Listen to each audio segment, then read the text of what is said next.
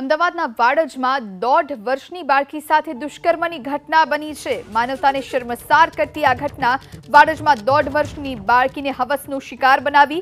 ચોત્રીસ વર્ષીય શખ્સ પર દુષ્કર્મનો આરોપ લાગ્યો છે. પોલીસે દુષ્કર્મ કેસમાં આરોપીની ધરપકડ કરી છે.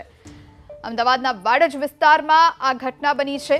વળી પોલીસ સ્ટેશનમાં ફરિયાદ નોંધાઈ છે. પોલીસે દુષ્કર્મના આરોપીની ધરપકડ કરી છે.